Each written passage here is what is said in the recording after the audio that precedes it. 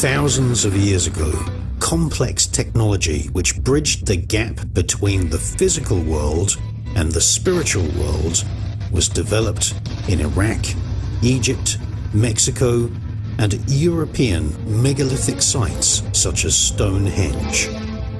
Buried deep inside sacred mounds of earth in Göbekli Tepe in Turkey, in Egypt, in Iran and Iraq, and also buried deep under the pyramids of Mexico, we have discovered statues of very strange demons. Alongside these statues are other artifacts which resemble the components of electrical circuits, such as the Djed pillar, which looks suspiciously very similar to a Tesla coil. In the ancient world, electricity was being generated using batteries filled with acid vinegar. And these devices created a flowing energy which was used by the Illuminati royal families of ancient Egypt, ancient Iraq, ancient Britain, and ancient Mexico to make psychic contact with spirits, angels, and demons. These devices in turn inspired the greatest scientists of the modern world, some of whom were members of secret societies which hosted seances in which ectoplasm and technological apparatus were used to show us images of the spirit world. All this technology was kept utterly secret. Welcome to the world of forbidden electrical, psychic, spiritual technology. Welcome to the world of forbidden TV.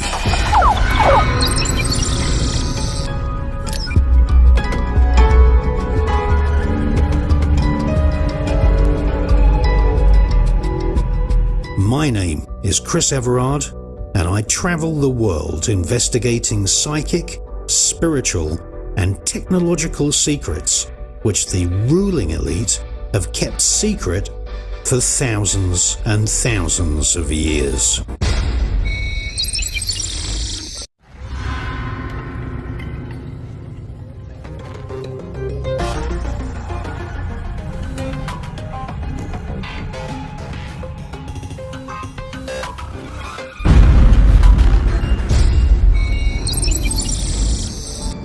This episode, we show you how many of the ancient churches of Europe have nothing to do with Christianity, but are actually temples to aliens and temples dedicated to demons.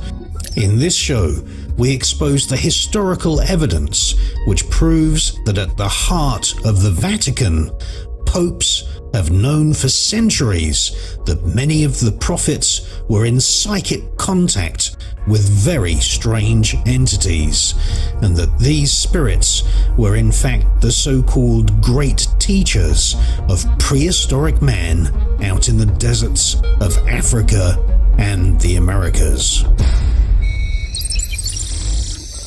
NASA 2017. The Kepler space program has confirmed the discovery of 3,500 alien exoplanets and 2,600 alien solar systems. Whilst these planets are millions of miles away and travelling to them is not yet possible, ancient man has been using shamanism to make psychic contact with entities out in the universe. These so called sky gods of the ancient world have formed legends and mythologies which have become the bedrock of modern religion. In this episode, for the first time on film, we analyse the oldest images and writings on planet Earth and go deep into caves in the Americas and Africa and show shamanic rituals being performed in which the spirit or the soul of a person was released through ritual sacrifice in order to summon gods and demons from other parts of the universe. But it is not just gods who came through this spiritual portal, it was also alien spirits, possibly from planets which NASA's Kepler program has recently discovered.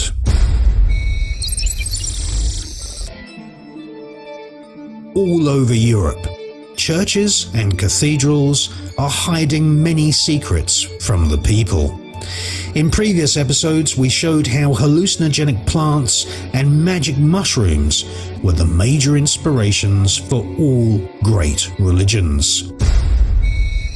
These powerful psychedelics became sacred plants. They created hallucinogenic trances, which triggered the so called visions of the biblical prophets. And some of those visions, such as we see in the book of Ezekiel, were of extraterrestrial craft, strange angels, and even stranger demons.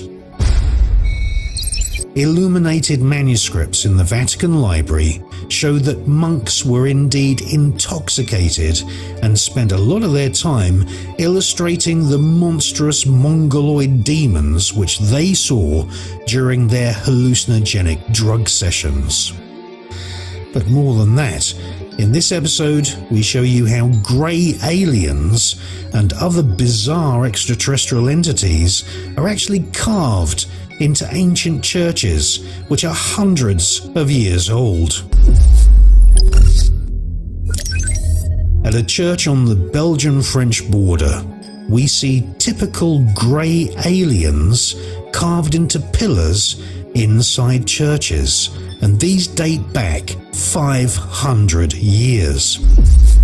In one church, we see an alien type entity emerging from a portal called the Vesica Pisces.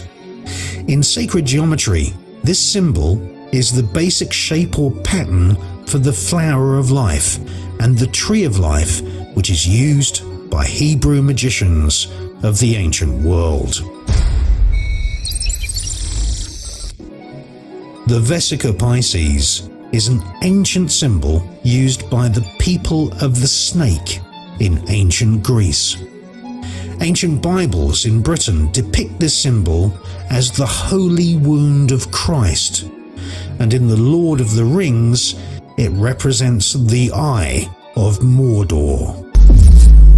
Long before the biblical story of Jesus feeding people with loaves of bread and two fishes, the Vesica Pisces was inscribed on megalithic stones with the Greek word ichthus, which means fish.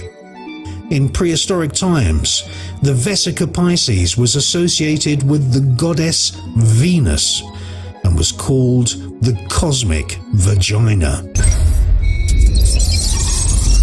The Vesica Pisces is also known to Kabbalists and occultists as the symbol of a portal between the spiritual world and the physical world.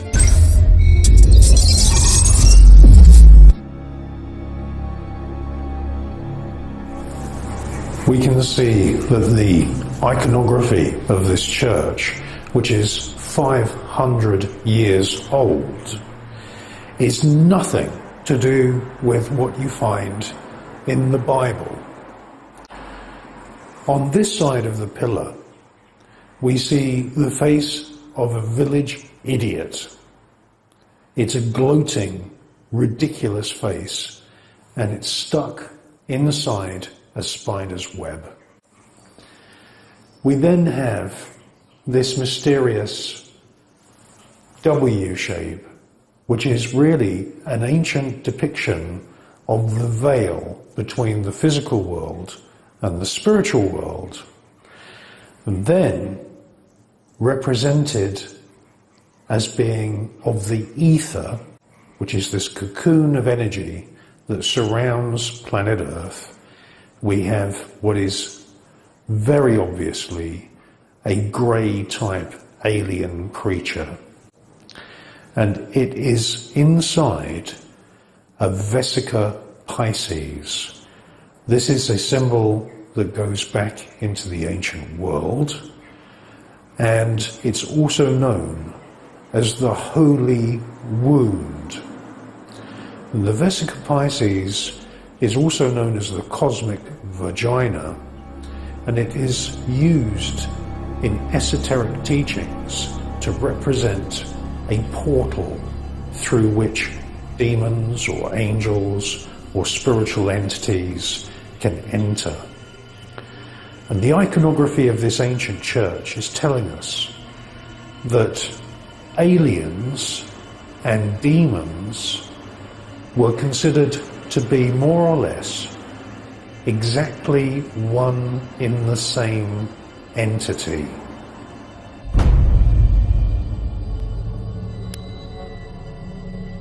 The Vesica Pisces symbol has always been related to the idea of beings entering our world from another dimension.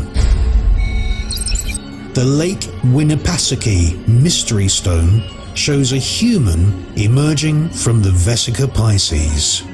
This stone is one of the most ancient artifacts ever to be discovered in the USA and is at least 2,000 years old.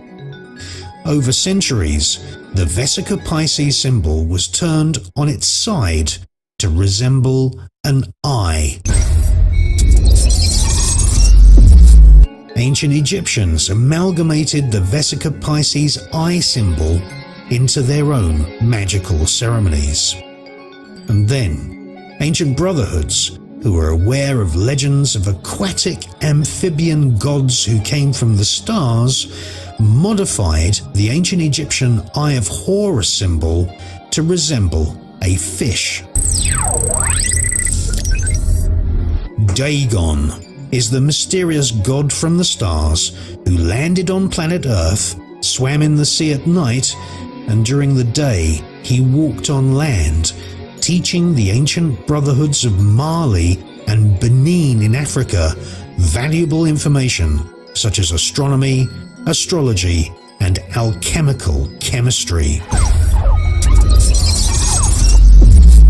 Hundreds of cults worshipping these amphibian star gods sprouted in the West African Ivory Coast and eventually morphed into the ancient Egyptian creation myth of the amphibian Ogdoad creator gods who lived in a primordial ocean and who created modern civilization.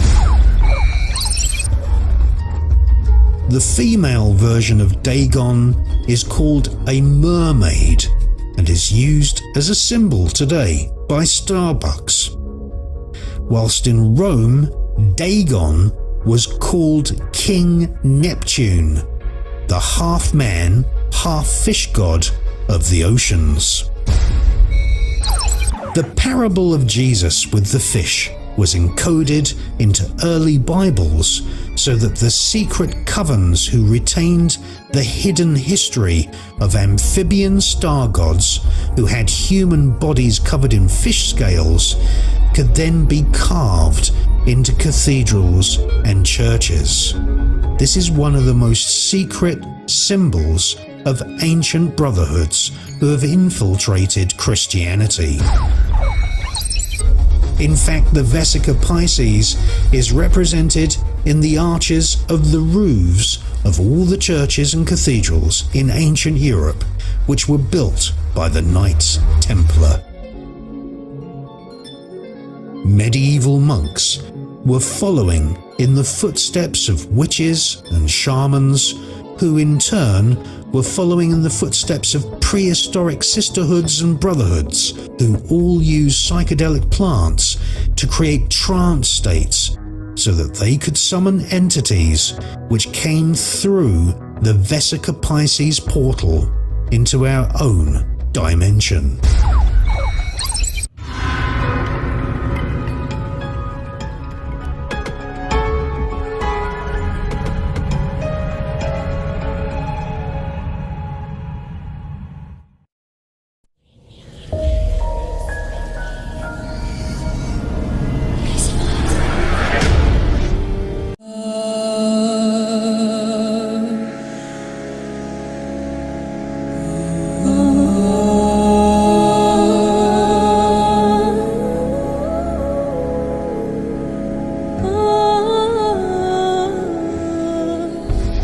Waltondale Farm in Zimbabwe, we see cave paintings that are thousands of years old. They show a coven of witches sacrificing a man and his spirit opening up a so called tree of life. The spirits of the coven members can be seen climbing up and entering a spiritual wormhole where a giant alien headed mother goddess greets them alongside horned devil men riding surfboards. This is the archetypal vision of the so called Ancient Ones.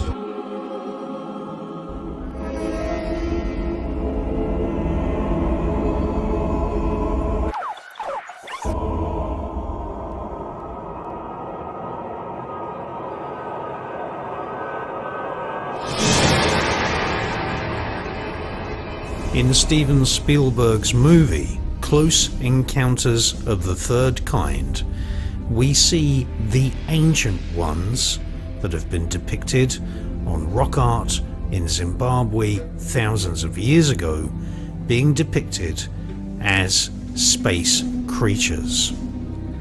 The similarity is no accident. Former US government advisors on UFO activity in the skies above America were actually hired by Steven Spielberg as consultants on this movie. Close Encounters of the Third Kind was the first time that Hollywood had presented grey aliens on the big screen. The consultant was Professor Hynek, the man who the US government had hired to create Project Blue Book, which was a debunking exercise, kidding the public that aliens and UFOs did not exist.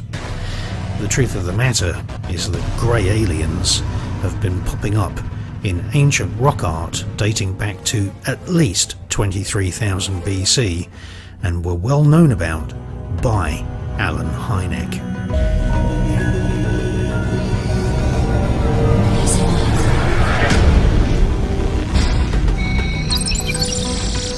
There is a longer, more in-depth version available on the Enigma channel. The Enigma channel is like WikiLeaks, but instead of reading documents about secret subjects, you can put your feet up and watch thousands of fascinating documentary films covering subjects which have been censored and suppressed from the mainstream media for decades. The Enigma Channel is a 100% independent TV network with documentaries and TV shows which are not available on YouTube, not on Netflix, and are unique to the Enigma Channel.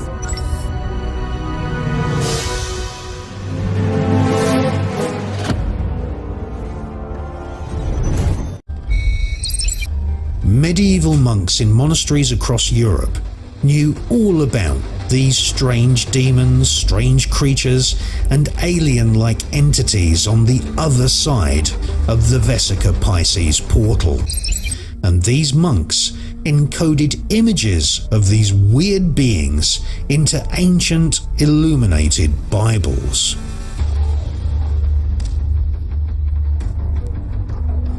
This is Oliver's Castle in Wiltshire, England and the most puzzling and bizarre of UFO sightings.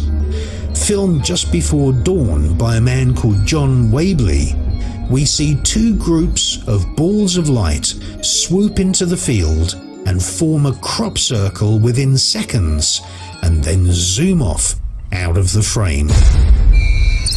These exact same balls of light can also be seen in footage from Don Fletcher in actual fact, there are more than a dozen pieces of home camcorder footage, all showing the exact same balls of light flying in and around fields where crop circles have been formed. In a monastery in Kosovo and a cathedral in western France, we see these mysterious balls of light depicted at ground level amongst the prophets. And these paintings date back hundreds of years. In fact, in the modern world, people are filming bizarre balls of light in many countries, especially in Mexico. The home camcorder footage seems to suggest that these balls of light seem to be making crop circles. And this phenomenon seems to have been known to prehistoric man.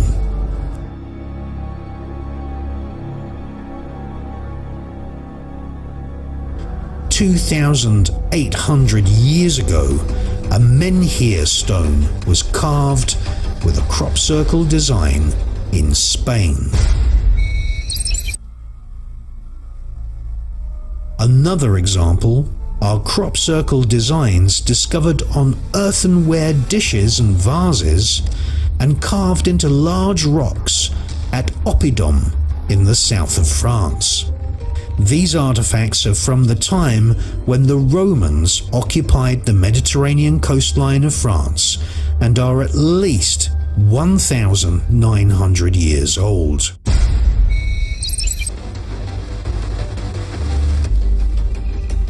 The Oppidum Museum also has 2,000 year old drinking cups which were used for hallucinogenic sacred wines. And on these cups, there is a face of one of these strange spiritual entities which were summoned by the brotherhoods that lived in that region. In 1972, at the nearby village of Montaudie, there was a UFO flap and the first crop circles of France appeared. Also, at the same site, large numbers of keys were also discovered, and in 1990, a remarkable pictogram appeared in Wiltshire displaying a series of rings with key shapes. This was featured on the album cover of Led Zeppelin's Remasters, whose guitarist Jimmy Page has a museum quality collection of memorabilia from Black Magician Aleister Crowley. Aleister Crowley, in 1918, summoned a being called Lam, in Central Park West, New York City. Crowley performed sex magic to invoke beings who manifested as a series of visions who were received via a psychic woman called Roddie Minor. One of these alien type entities was sketched by Crowley himself. This entity called itself Lam, and Crowley described it as an interdimensional extraterrestrial. In psychic communications with Lam, the symbolism of the egg featured prominently. Crowley included the portrait of Lam in his Dead Souls exhibition held in Greenwich Village, New York City in 1919. Crowley's assistant was actually committed to a psychiatric hospital following the seances which summoned this alien like entity.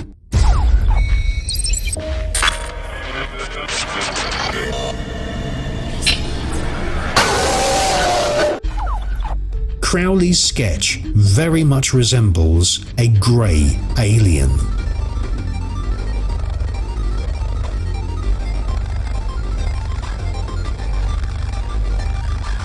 Many decades later, Professor John Mack of Harvard University collected eyewitness reports of people who claimed they had been abducted by aliens.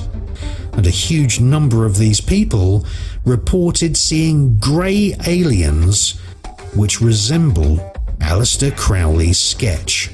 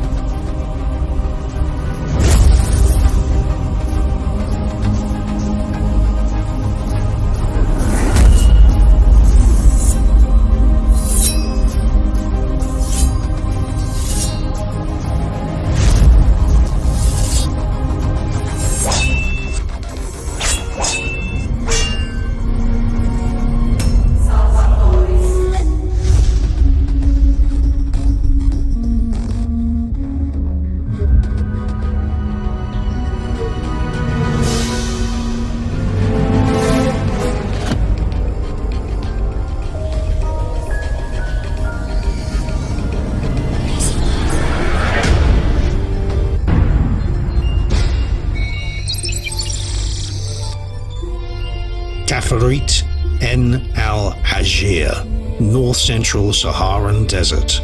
We're on a quest not only to discover rock art, which shows alien type creatures, but to discover rock art which also shows other types of entities, such as horned gods, which were summoned by shamans using psychic techniques thousands of years ago.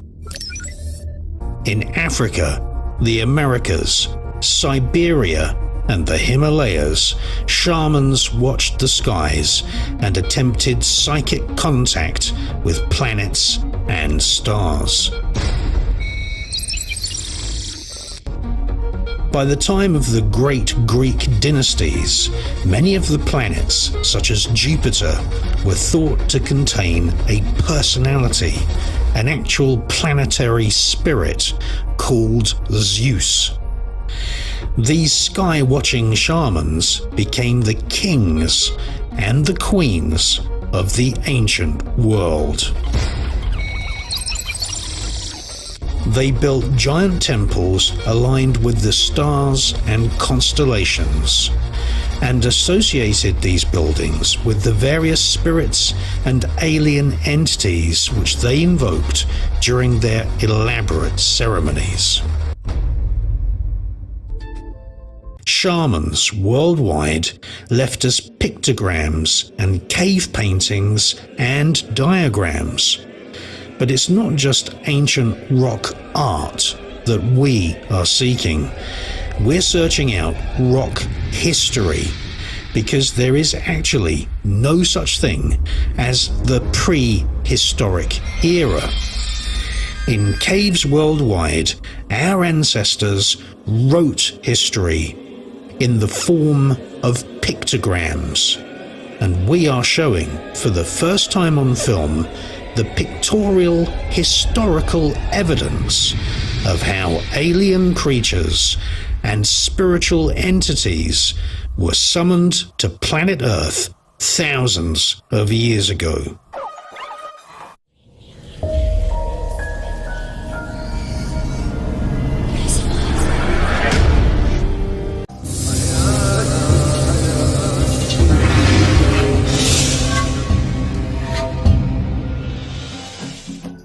Stone Age Psychedelia is the most in depth investigation into the kings and queens of the ancient world. It's a book which is far more than just about drugs in the ancient world.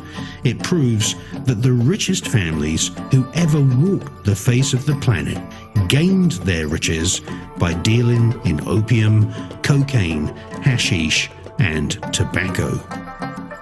Stone Age psychedelia proves that the psychedelic experience is at the root of all religions.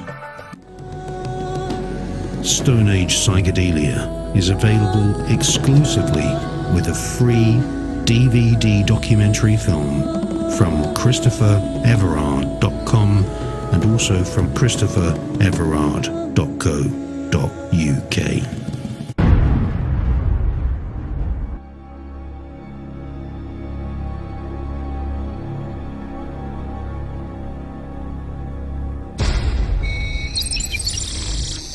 In the full length episodes on the Enigma channel, we see how these strange beings and aliens selected certain species for breeding programs and genetically modified not only wild animals, but humans as well.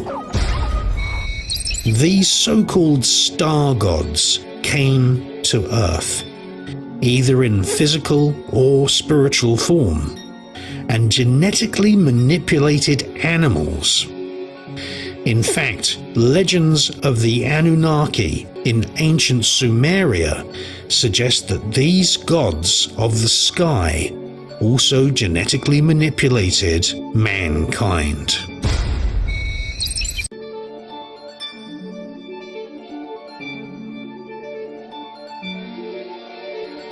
In Algeria, 200 miles south of the northern African Mediterranean coastline, we see rock art dating from the Paleolithic era, which clearly shows creatures being progressively genetically modified as they pass from one enclosure pen to another. Many rock paintings in Algeria and also in Libya show humans and animals being genetically modified in various stages. They are corralled into special pens and enclosures, and these rock paintings clearly show different stages of breeding programs. At each stage, the legs, the arms, the heads, and the torsos of these creatures are changed and manipulated. Evidence of these strange entities interfering with genetics of humans and animals can be found worldwide. At the Mutuku Caves in Zimbabwe, humans and insectoid creatures hunt animals together. Whilst in Arizona, the Hopi Indians speak of how they were helped by a race of so called insect people who lived in caves underground thousands of years ago. Ancient rock art shows many gods and goddesses organizing human society. And there are literally thousands of examples of ancient prehistoric art showing strange mutations where the genes of animals have been mixed with the genes of humans.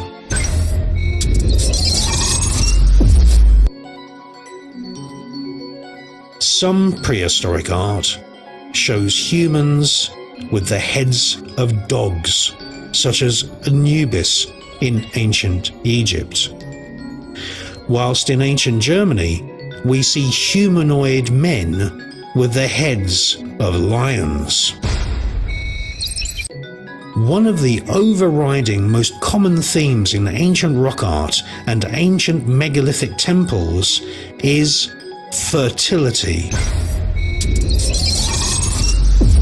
And in the full length documentaries on the Enigma channel, we investigate the clearest and the best evidence which proves that many henges, many megalithic stone circles, Gobekli Tepe, and Stonehenge itself are giant models of a human fertilized egg.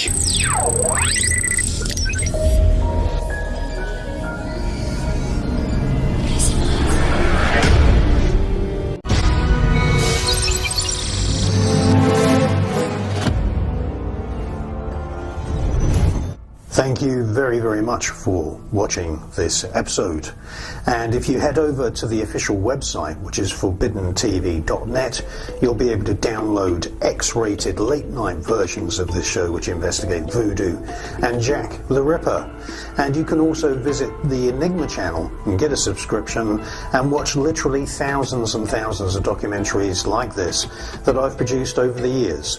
My name is Chris Everard. Thank you for watching. I'll see you in the next episode, and we are going to be visiting Iran, Syria, Tibet, Nepal, India, Spain, France, and Germany in the upcoming episodes. See you then.